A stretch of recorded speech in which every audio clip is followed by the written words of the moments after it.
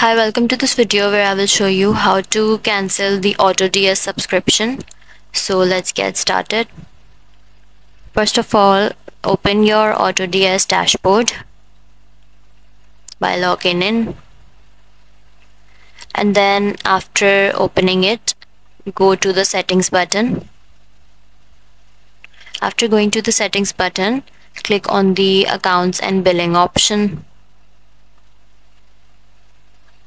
and now after selecting the accounts and billing option now you have to uh, click uh, on the cancel account button for canceling the subscription. So click the cancel account button here. After canceling your subscription will be successfully cancelled so that's how you will cancel the AutoDS subscription. That's all for this video.